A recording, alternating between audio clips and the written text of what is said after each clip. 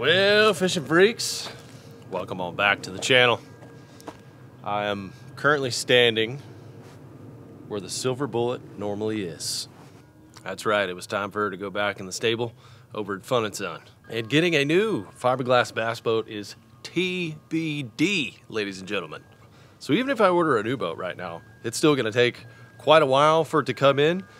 So as of right now, we're rocking the Crispy. And we also got LFD's boat, which I will show you guys in just a minute that we're gonna be putting some new eyeballs on. Let me show you the new setup on the Crispy. It's pretty slick. I'm tad bit bummed about not having the silver bullet, but I'm pretty stoked about this, y'all. I wanted to share this whole setup with you guys because I know not everybody has a brand new bass boat with, you know, latest and greatest and all that. And this is something that can go on just about any multi-species boat and you can take it with you. Um, you can just detach it, fish with it uh, on a pole. It's kind of cool. But the way I have it set up here is is really nice for this boat.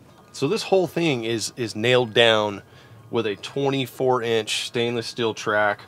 This one's made by Burt's and this thing is solid. I got some stainless steel hardware, screwed it into uh, to the floor of the Crispy and I've got it so where I can turn it all the way around on this 360 mount.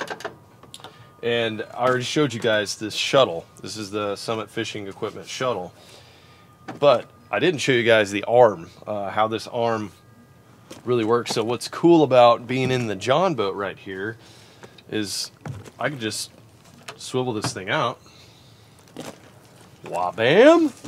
And now we're scoping. I can drop this thing down and we're in the water lift it up and we're going back in and it stows really nicely and it's very very solid.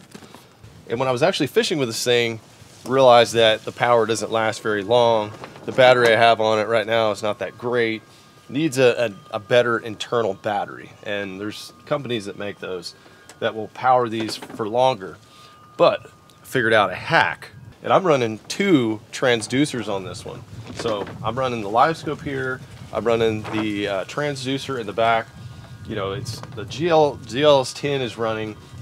So what I did that's a little different in the wiring is instead of using uh, this USB hub right here for uh, basically wiring up, you know, other other things that I want to charge and whatnot, I used uh, an extra port that was in there to power up the black box. So when I don't want to use the LiveScope, I don't have to turn that on. It's got a separate power switch right here. I can turn that on when I want a LiveScope, turn it off so I'm not using as much power from the black box. But even then, we're gonna be sucking some power, so I figured out a hack. This is the hack right here, portable power station.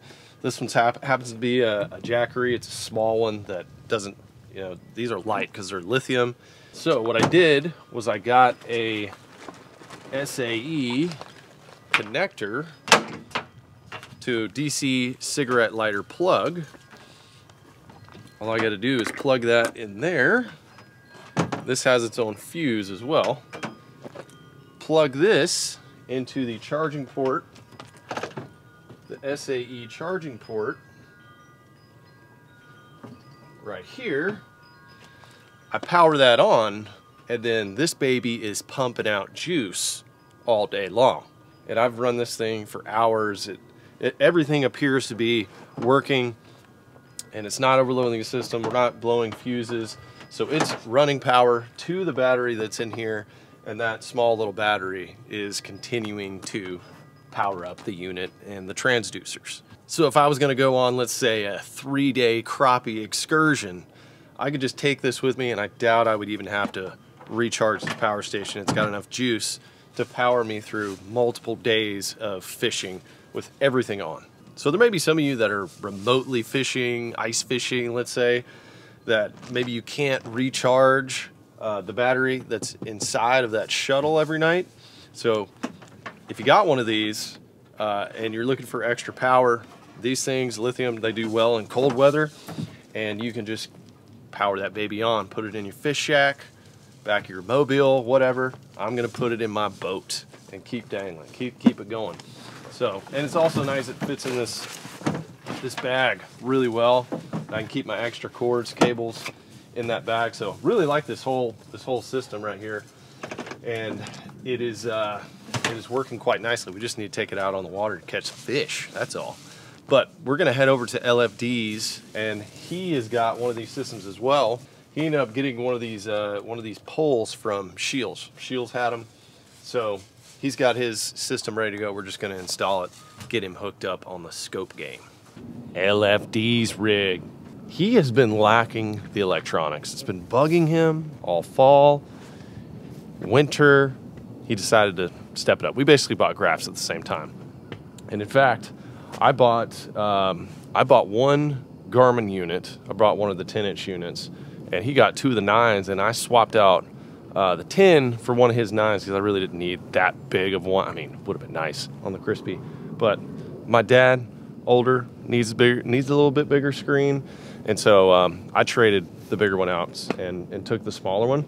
Uh, I actually got sent two of those units from Summit Fishing Equipment, and it was uh, after evaluating how big of a pain uh, it would be to rewire the center console style boat, it's a nightmare, guys. Um, basically, having to run wires from inside the hull, go all the way down, and somehow route those, snake those all the way back, and uh, the the old center console, it's just it's a different it's a different animal. So instead of um, instead of having to run all those wires up here somehow, we decided just to just to use one of these up front, which is its own battery pack and everything. So the setup you saw on the Crispy, uh, that that has the rail and everything, that's what we're gonna do with Dad's boat right here. It looks like uh, LFD had an unfortunate tree expire. Look at that big monster oak. I've counted the rings on this tree. It's it's just about a hundred years old. The tree has seen some days out here. LFD, you ready? To, you ready to get scoping? Hey, morning, big guy. Yeah. Yeah, before the cold front gets here. Drilling a hole in your boat, Dad. Okay. I trust you.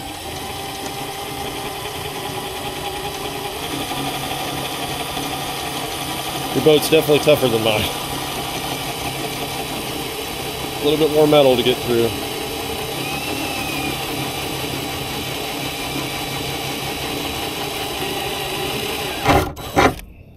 Express. Come on, baby. Let's get in there.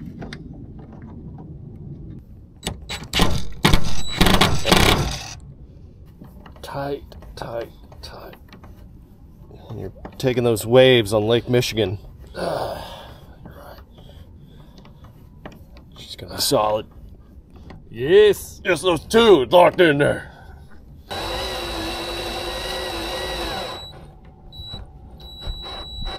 Okay. Show the folks at home how that works. So we got our plate.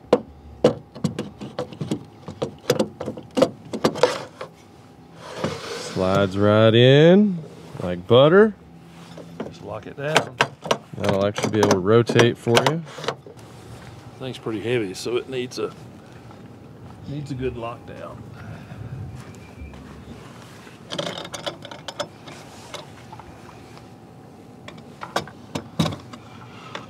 Yep. Slide it back. Well, like this, you can lock it. You got the little uh, hole Yeah. right here. You can put a. Put a Lock- little carabiner thing in there, lock her in. I love it. Pretty sweet, huh? Yes, I'm gonna sit my tail right here and watch TV. oh, I can't wait. Yeah, buddy. Oh yeah. We got the unit hooked up. Scope pole hooked up. Back arm on, working. There's just one little thing that is missing, and that is the connection cable from the uh, GLS 10 going to the unit here. And I can't remember, I don't know what happened to it. It might have gotten thrown away. It might be somewhere at my house. It, it might be in the trash, somewheres. But pretty important cable, and we'll we'll have to find it. You're about ready to go scoping, Father. Yes. Raise the roof. All right, guys. Cold front is coming in. Chickens know it. Inside of there, they got their heat lamp, so that's going to keep them warm. I can already feel there's there's quite a bit of warmth in there, so they should be toasty.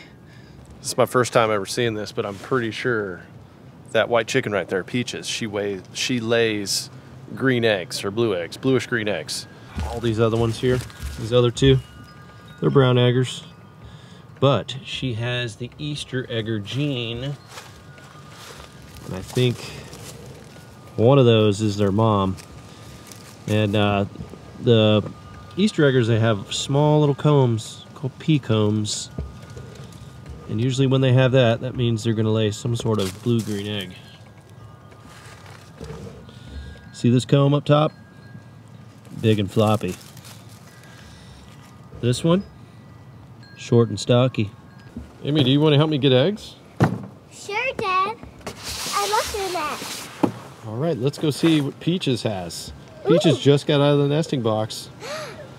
Let's go see. Yeah, let's go see. Do you think she was sitting on him? Mm, I think she was just laying one. Oh, yeah, could be. I think she was laying on one. Think she was broody? Yeah. I think she was doing.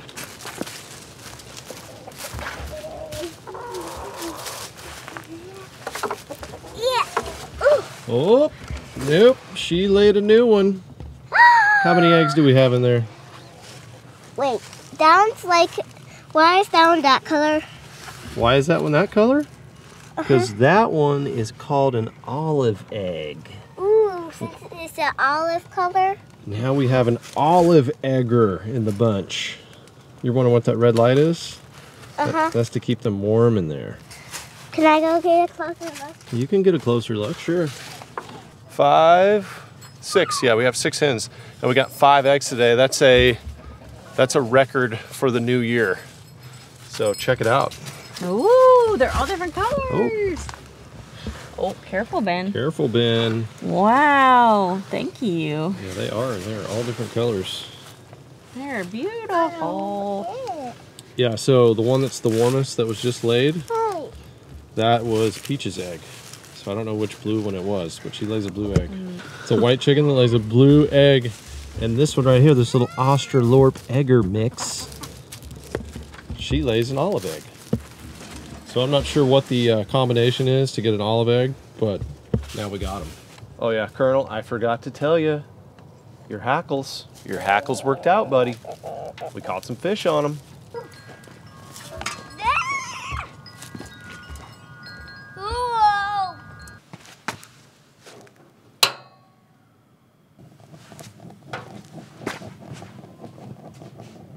Right, Operation Winter Freeze slash boat transitioning has taken place, is taking place. So in the back of the uh, meat wagon right now is actually a lot of my tackle from the Silver Bullet, crappie gear, on pad, ready to go.